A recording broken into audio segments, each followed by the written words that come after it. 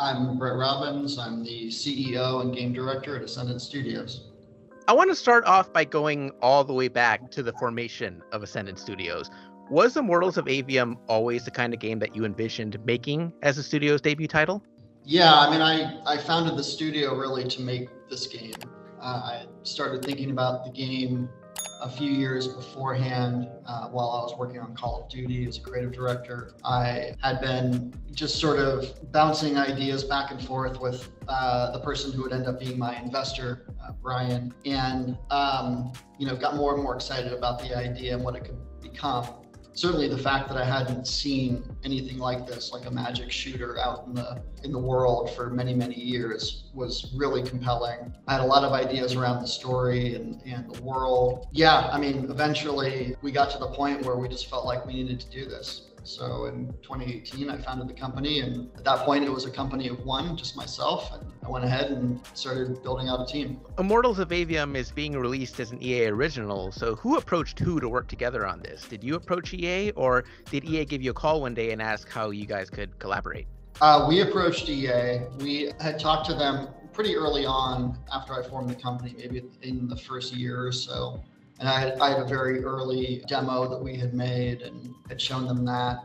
And then I think it was in, it was about mid 2020 we had given them a, a combat prototype that we're pretty excited about. You know, not a lot of the game had been made at that point, but we had, you know, the player abilities, uh, spells, some enemies stood up. Really, just a, a, a, what I thought was a good example of what the combat system could be and what the kind of core of the game could be. And they really, really liked that. Uh, they got really excited about that, and so that really got us talking about partnering together. And over the next, you know, several months, we we worked out how that was going to happen. How did you come up with the idea of Immortals of Aveum? Like, how did you how did you come up with the basic story and the idea to make it this magic-based FPS? I had a moment while I was working on Call of Duty where I had, you know, been reviewing one of the levels um, that we had work, were working on, and it was a, a, fairly standard Call of Duty level. It was a uh, you know, a, a, city street scene with lots of um, explosions going off. You're running down the street with your squad mates. There's helicopters flying overhead. There's you know chaos everywhere. Fairly standard stuff. I just remember stopping.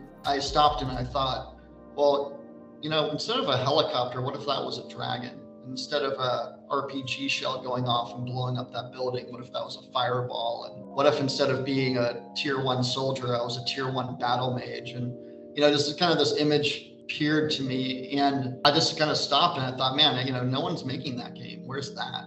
That was sort of a, a jumping off point. Now, what the game became, what Immortals of Aveum is, is very different than just fantasy Call of Duty. It's its own thing. But that was, you know, sort of a, an, an, early uh, inspiration. And then after I left uh, Sledgehammer Games, I had a period of about four months where I was able to just sit and write. And I just would go to a cafe here down the street near the office with my laptop. And I just, you know, started really thinking about what the world was going to be, what the combat system was going to be like, what the story was going to be like, who the characters were.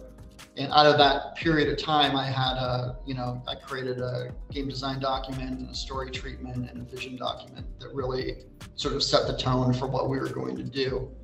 And uh, you know, five years later, if you looked at those documents and read them, you'd see that they're, you know, they're pretty close to what we ended up with, um, just in terms of what the vision should be.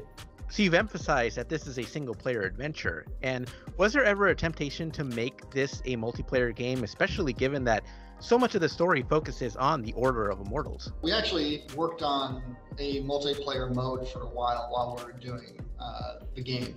The, the game was always going to have a huge campaign to it and tell a big story. That to me was super important. It's the kind of work that I've done mostly in my career, you know, even on Call of Duty, I, I only worked really on single player on games like Dead Space. I was a creative director on that. So I, am very comfortable and I, I really enjoy working on single player games. So I knew that was a large piece of it, but we wanted to explore other things as well. So we we had prototyped a co-op mode that was uh, really compelling and really interesting. Um, you know, for reasons of time and budget, we decided that uh, we would uh, put it on ice and uh, you know just focus on the single player for a first release. But um, there is a lot about this game that certainly lends itself to multiplayer, and I think that's something very interesting to explore in the future. Talk to me about Jack. What should players know about this character before going into this story? He's a character who starts with really humble origins. He's uh, basically, he grows up on the streets in a slum, an orphan. He has a small group of friends that, um, you know, are all sort of street thieves and just trying to survive. And over the course of the story, he, you know, through certain traumatic events, he finds himself innately imbued with a lot of magical power and ability. And this puts him on the radar of the immortals who are the battle the, the best battle mages in this world and so he begins his journey as a magnus which is what we call a, wizard in our world you know fighting in uh, the Everwar which is this huge you know, hundreds of year long conflict that's engulfed Aveum. He becomes a battle a battle mage. He becomes a Magnus, and eventually he becomes an immortal. You you know the campaign takes you through all those early years and and his transformation as an immortal, and then ultimately the story unfolds where he's trying to stop the war. It's an epic story. It follows a huge uh, you know huge journey for him um, and a huge arc for his character, uh, and he of course meets lots of other immortals and other interesting characters along the way. So I want to dive into this game's use of magic. Explain to me the differences between red, green, and blue magic, and are these like the only forms of magic in the world, or are there other maybe un maybe unknown sources of magic that are out there? Yeah, the three known sources of magic are blue magic, which is force magic, uh, red magic, which is chaos, and green magic, which is life. And um, all of Jack's spells, uh, everyone's spells, the, the, spells of the Magni, utilize uh, one or more forms of that type of magic. Jack is special in that he is what's called a triarch. He's able to utilize and control all three colors of magic.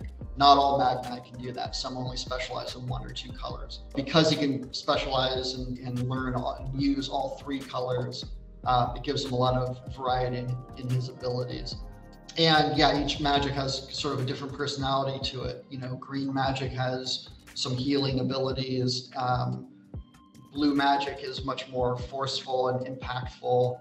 Red magic is more uh, energy based. So uh, you know, each spell sort of has its own personality depending on what color it is. What sorts of talents can players utilize with these magics? Like, tell me about the talents and the skill tree and everything that players are going to encounter.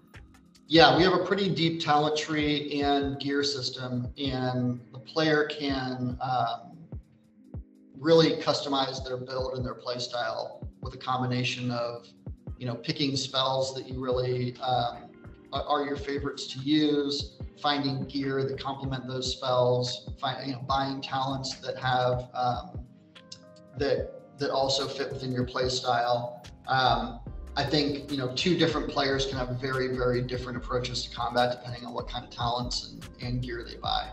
Um, it's a big game. It's a long game, uh, so you have plenty of time to explore and to uh, you know try different abilities. The talent tree is broken up into you know the three colors: red, green, and blue.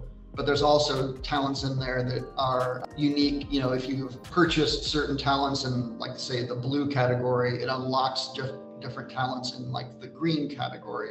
So there's a lot of crossover there. We really just wanted to create a lot of variety. We wanted to create a system where people could, you know, try different things, have a lot of fun, expo- you know, exploring, finding all the different talents and spells, and figuring out how, you know, what they wanted to use, what their favorites were.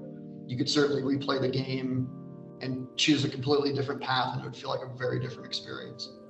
How much will players learn about the Everwar? Are they going to learn everything over the course of the game, or are parts of it going to be left intentionally vague for the sake of maybe potentially expand, expanding on this story down the line through maybe not necessarily a sequel, but also through, through other mediums? Yeah, you won't learn everything. We certainly have a tip of the iceberg sort of approach to writing where, you know, we will introduce concepts, we'll, you know, tease out certain things, uh, certain characters or events uh, maybe not give you the full story. I mean, it's a huge world. We spent a lot of time on the backstory and on the mythology and on um, the lore, um, way more than we could possibly put into just the first game.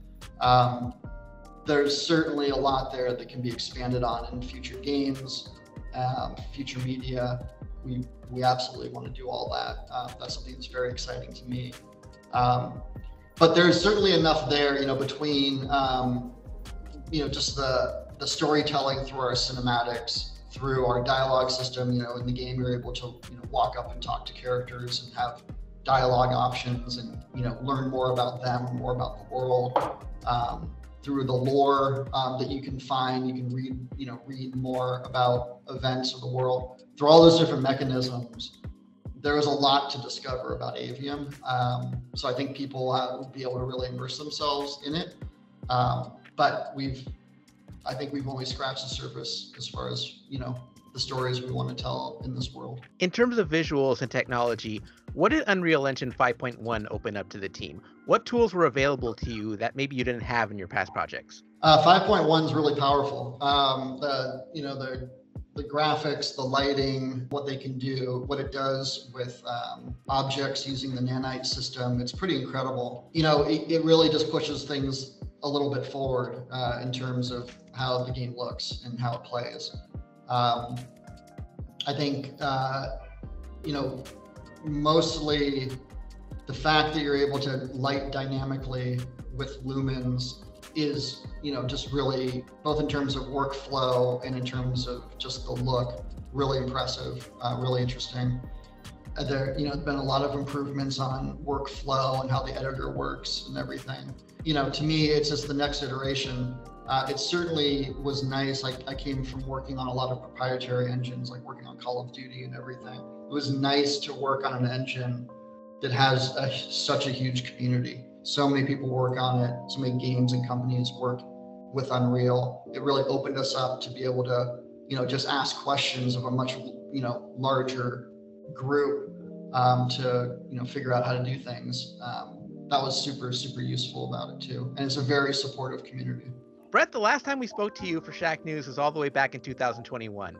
Ascendant Studios was still in its infancy, and the interview was more of a retrospective of your career, in particular your work on Dead Space. At that time, we asked you what you thought of the teaser for the Dead Space remake that was at that time coming up. Now it's two, two years later, and the game's out. So I'd like to ask you, what do you think of the Dead Space remake? I loved it.